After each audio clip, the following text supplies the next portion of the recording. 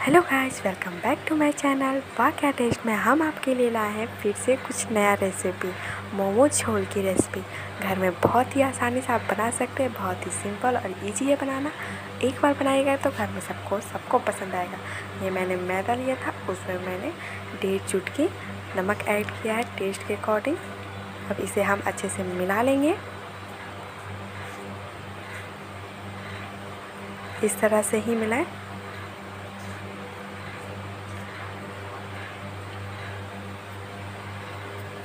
चलिए, हमारा नमक इसमें मिल चुका है। अब इसमें हम पानी मिलाएँगे।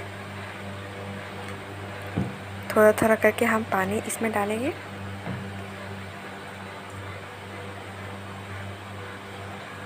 इसमें आटा हमें थोड़ा टाइट ही रखना है, मुलायम नहीं रखना है। ये हमारा मुर्गा मैंने फ्रेश करके रख लिया है, प्याज मैंने काट लिया है। ये सारी सामान जो हम इस चिकन में डालेंगे। चलिए, डालते हैं आप। चलिए, इसे गोला को फोड़ लेते हैं। अब हम इसमें कटी हुई प्याज डालेंगे।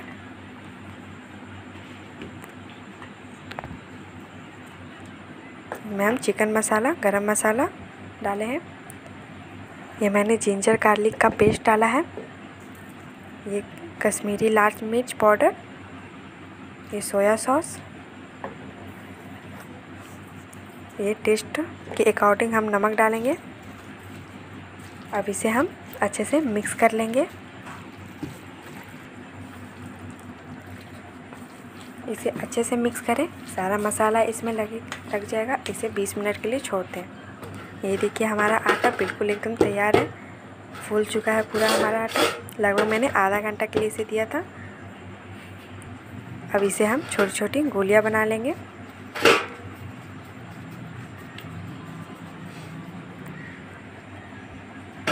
आप अपने हिसाब से ले सकते हैं।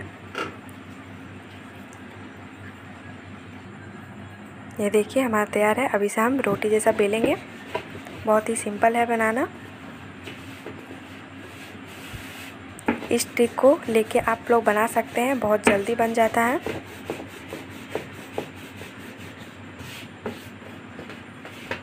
हमें इससे भी बड़ी रोटी बनाना है। बने रहिए हमारे चैनल पे।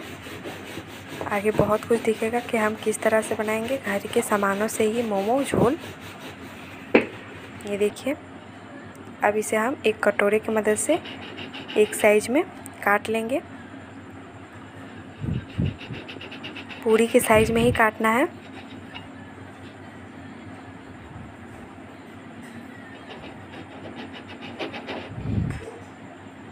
ये देखिए, दम लगा के करना पड़ेगा। अब इसे हल्के हल्के हाथों से उठाएँ, वरना नहीं तो ये प्लेट में चिपक जाएगा। ये देखिए, कितनी आसानी से निकल गया। इसी तरह से ही बनाएँ, सिंपल है बनाना। अब हम टमाटर की चटनी बनाएँगे। बॉयल होने के लिए हम तीन टमाटर और रेड चिली दिए हैं। अब इसे थोड़ा हम बॉयल होने देंगे, पंद्रह से बीस मिनट। ये देखिए, अब इसमें हम स्टफिंग डाल दिए हैं। अब चारों तरफ़ हम पानी डाल दिए हैं। अब इसे हम मोड़ लेंगे। बहुत ही आसान है मोड़ना। ध्यान से बस देखें किस तरह से हम कर रहे हैं।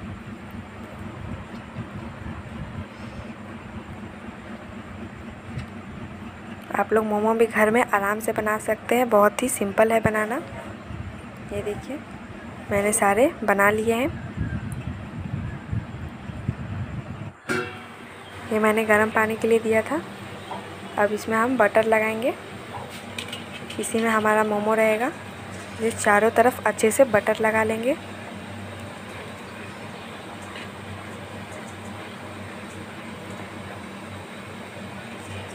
आपके पास बटर नहीं हो तो रिफ़ाइंड ऑयल भी लगा सकते हैं। और इसमें हम सारा मोमो रख दिए हैं। अब इसे 30 से 40 मिनट तक भाप देंगे। चलिए अब इसे झाँप देते हैं।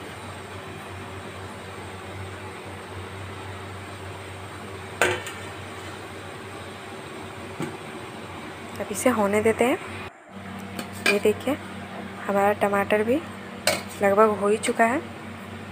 इसका छिलका हटने लगे तो समझ जाइए कि हमारा टमाटर बॉयल हो चुका है। ये देखिए, इसे काट के ठंडा होने दें, तभी मिक्सी में पीसे। ये मैंने बादाम लिया है। इसे थोड़ा दो, तीन मिनट के लिए फ्राई करेंगे। भूनेंगे। इसमें हम आप तिल ऐड करेंगे। इसे भी कम से कम पाँच से छः मिनट तक भूनेंगे।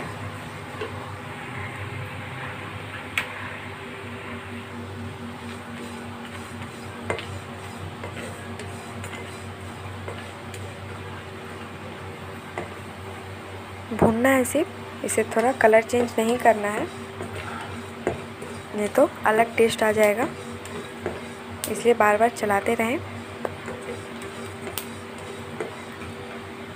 चलिए, हो गया लगभग।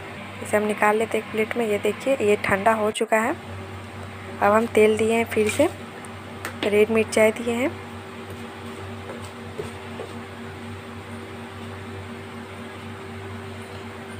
धीमी आँच पे ही करें।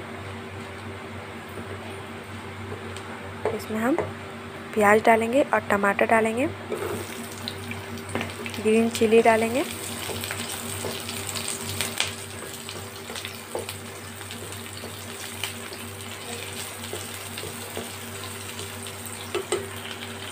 अब हम टमाटर भी डाल देंगे। अब इसे अच्छे से मिला लेंगे। इसे पाँच से छः मिनट तक हमें चलाना है।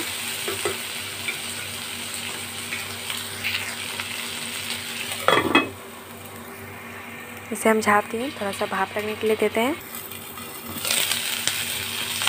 ये देखिए हल्का हल्का इसका कलर चेंज हो चुका है। अब इसे भी हम एक पेस्ट बनाएँगे। चलिए, अब हम निकाल लेते हैं। फिर इसे हम ठंडा होने के लिए देंगे। ये देखिए, ये ठंडा हो चुका है। इसका छिलका हम निकाल लेते हैं। ये अलग चटनी बन रहा है। ध्यान से देखिए इस वीडियो को।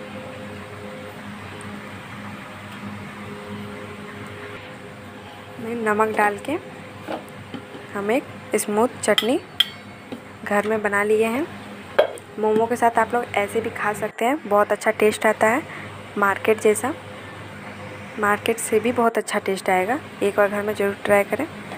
ये देखिए, ये सारे अब हम एक मिक्सी में पीस लेंगे। दोनों को मिला के एक पेस्ट बना लेना है।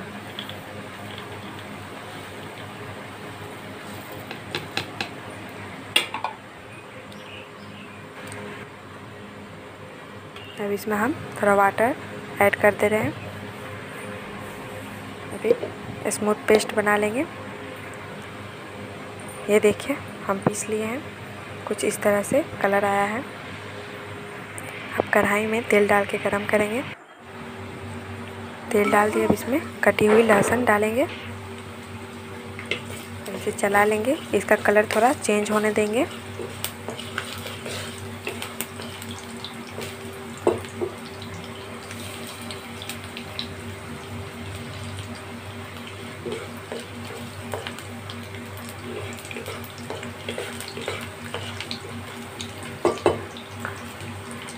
ये देखिए। कलर चेंज हो चुका है अब इसमें। ये सारे मसाले हम डाल देंगे। देखिए, कितना अच्छा कलर आया है। अब इसे अच्छे से हम मिला लेंगे। सारे मसाले इसे में हैं, इसलिए इसे हमें बार बार चलाते रहना है दो तीन मिनट पे। और आँच को थोड़ा लो रखें। मसाला भूनेगा, भुन जाएगा, तभी टेस्ट आएगा। इसमें हम नमक डाल दिए हैं। टेस्ट के अकॉर्डिंग इसे चलाते रहें।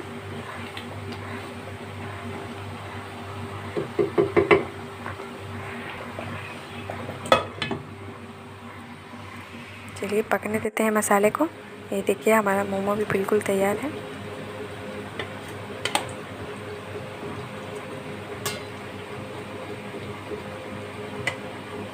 देखिए। घर में आप लोग भी आराम आराम से बना सकते हैं। ये देखिए हमारा मसाला लगभग तैयार है, इसमें हम अब मोमो डाल देंगे।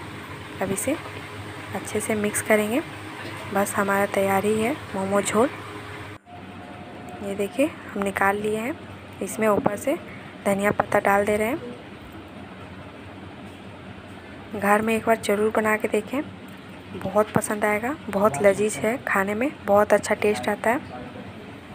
बहुत सिंपल है बनाना, घर के ही सामानों से आप लोग बना सकते हैं। आई होप आज की रेसिपी आप लोग को पसंद आई होगी तो चैनल को लाइक, सब्सक्राइब और सबको शेयर ज़रूर करिएगा दोस्तों और फैमिली में।